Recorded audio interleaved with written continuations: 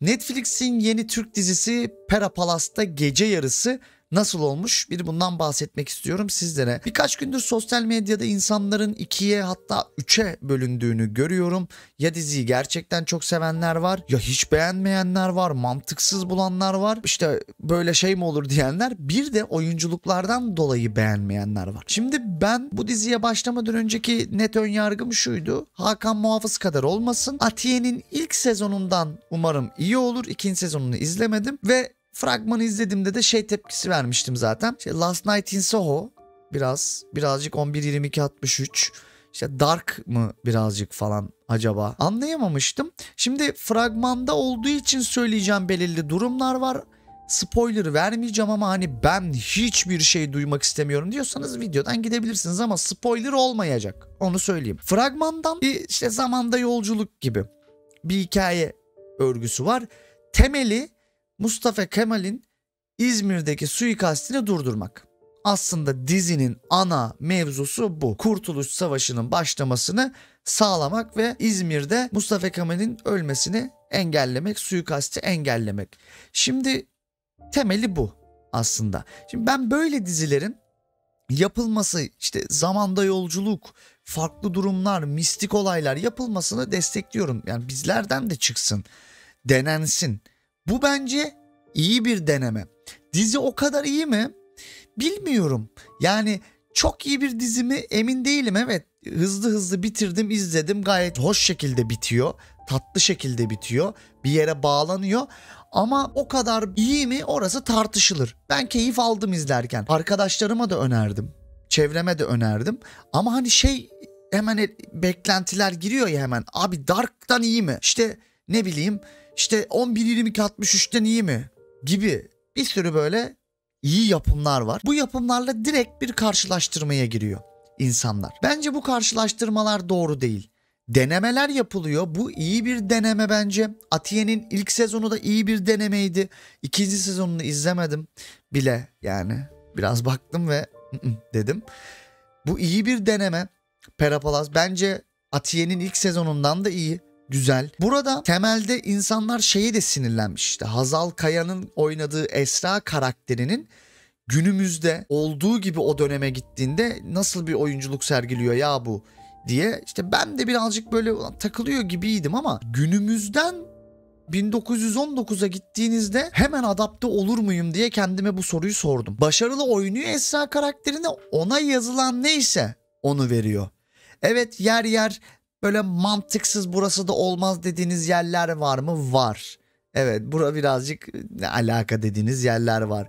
Gözünüze batan birkaç durum var. Bunları anlıyorsunuz. Hera Palas'ta bir zaman yolculuğu yapabiliyorsunuz ve işte birinci bölümün ilk başta zaten fragmanda da gösteriyorlar. Agatha Christie'nin odasına giriyor ve Agatha Christie'nin odasında dururken bir şekilde kendisini 1919'un Pera Palace Oteli'nde buluyor. Olaylar bundan sonra başlıyor. İşte günümüzden giden insanların verebileceği, sorabileceği soruları, o tepkileri tabii Esra karakterinin de belirli bir dizinin belirli bir süresinden sonra da ayak uydurduğunu zaten şeye görüyorsunuz. Bazı yerlerde çok abartıyorlar. Böyle son bölümlere yaklaştığınızda bu zaman yolculuğu muhabbetlerini. Ama işte o odalar aslında biz bir oda gibi bakıyorduk ama bu zaman yolculuğu istediğin zamana gitmek veya işte 1917'ye 19'a niye geldi, nasıl geldi, bu burada Perapalas'ın yapıldığı yerde mi bir sıkıntı var? İşte başka zamanlara gidilebiliyor mu? Geleceğe gidilebiliyor mu? Bununla alakalı kafanıza sorular oluyor dizinin izlediğiniz bölümlerinde. Yani bunlarla alakalı da kendi çıkarımlarınızı yapmanızı istiyor dizi biraz da. Hem açıkladığı yerler var. Oralar çok spoiler ama kendi çıkarımlarınızı da yapmanızı istediği yerler de var. Yani işte bu teori üretmek diyeyim tırnak içerisinde. Teori üretip fikirlerinizi ona göre işte düşünerek böyle de olabilirmiş, şöyle de olabilir diye düşündüğünüz yerler var. Ben dizinin iyi bir deneme olduğunu düşünüyorum. Daha iyisi de olur. İşte birazcık böyle paradokslar, zaman yolculukları. Ya zaten şunu çok net olarak konuşalım. Zaman yolculuğu işin içerisine girdi mi hangi yapımda olursa olsun ister istemez bir sendeliyor. En iyi zaman yolculuğu filmlerinde bile. İster istemez bir sendelediği oluyor. İler işte film veya dizi ilerlediğinde açılıyor. Şimdi burada da tabii ki sendeliyor. Ama ikinci sezonunda belki üçüncü sezonunda daha da bunu kendi mantığıyla dizinin kendi çerçevesinde kendi tutarlılığında belki de toparlayabilecek. Belki de düzenleyecek. Onun için ilk sezonda zaman da böyle oldu, şurada da şöyle oldu diye kafamda ve kafanızda muhtemelen kalan soruların anlıyorum sorular kafada kalıyor ancak belki de önümüzdeki sezonlarda bunların cevabını verir. Yani önümüzdeki sezonda en azından. Biraz da tabii ki gizem yaratmak istiyorlar yani. Bir nevi gizem dizisi de bu. Yani direkt olarak size her şeyi vermek istemiyor. Ve şunu fark ettim. Dizinin senaryo matematiği hakikaten bir Agatha romanı gibi. Bir Agatha romanı okuyormuş gibi yapılmış. Ya bu bilinçli bir tercih belli ki. Çünkü Esra karakteri bir Agatha Christie hayranı. Ve Pera Palas'ta zaten biliyorsunuz işte dizide de söylüyor zaten. Doğu Ekspresi'nde de cinayeti orada yazıyor. Önemli bir karakter Agatha Christie ve Pera Palas'ta kalmış dünyanın en çok satan romanlarına sahip çok önemli bir polisiye yazar Arthur Conan Doyle ile beraber. Bunu bilerek düşünmüşler gibi. Evet biz Agatha matematiğinde yazalım.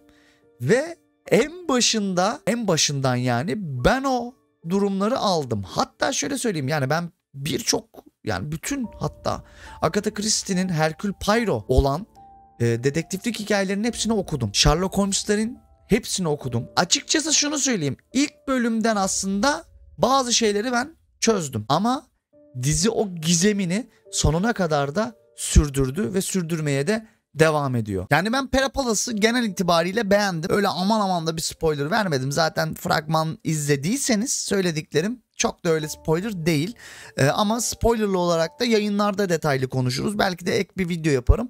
Benim fikirlerim bunlar. Bence böyle yapımların gelmeye devam etmesi gerekiyor. İkinci sezonunda umarım bozmazlar. Çünkü o gizemi ve genel kitleye hitap ettikleri için o gizemi diri tutmaları da gerekiyor. Bence kafada kalan soru işaretleri çok sorun değil. Yavaş yavaş açarlar, yavaş yavaş açıklarlar. Ha bu bundanmış, otel şu şu sebeptenmiş, şöyle mevzular varmış. Daha da geniş, daha da büyük bir olaya doğru gider umarım. Ben destekliyorum yani açıkçası.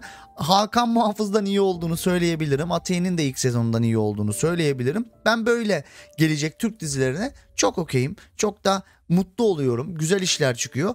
Oyunculuklara gelirsek kısaca da ben hepsinin oyunculuğunu beğendim. Bayağı eleştirmiş Hazal Kaya işte neden böyle oynuyor falan. Yani bence Hazal Kaya ne verildiyse onu oynamış. Esra karakterinin günümüzden 1919'a gelmesi ve hemen adapte olması da ben, ben de ilk başta bir lan acaba garip mi oynamış diyorum ama bir düşününce yani çok da kolay değil. E, bir sahne var e, ilk bölümde. Bir sahne var ilk bölümde. Keşke o sahne olmasaymış dediğim bir sahne var ama onun haricinde de eleştirebileceğim öyle aman aman yerden yere vuracağım bu neden olmuş diyebileceğim pek bir durum yok. Eksikleri var, var mı? Kesinlikle var eksikleri ama yavaş yavaş düzelir bu eksikler. Deneye deneye uğraşa uğraşa üstüne gide gide bu eksikleri çözebilirler.